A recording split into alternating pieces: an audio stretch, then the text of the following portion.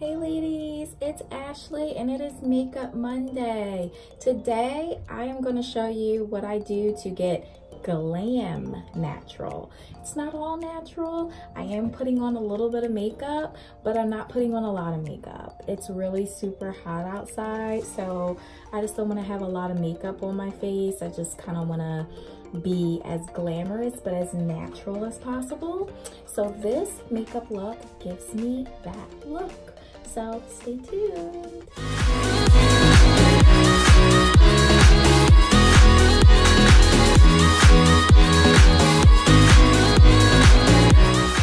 So my glam natural look is basically all about shaping my brows and really defining my eyes and evening out my skin tone on my face. So that's pretty much it. I usually, uh, you know, get my eyebrow, darkening my eyebrows, add a slight shimmer to my eyes.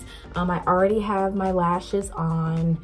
Um, I conceal under my eyes and any other dark spots. I kind of blend it in, add a little shimmer, and I'm done. It literally takes me like maybe four minutes.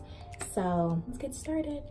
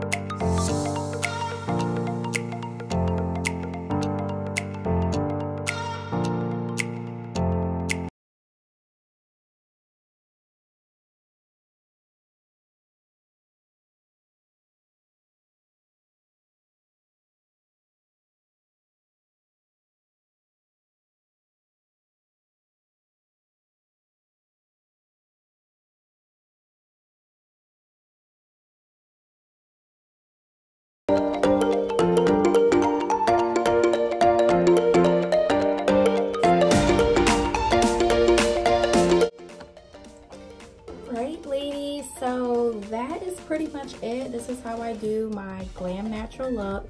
Like I said, I just shape up my eyebrows.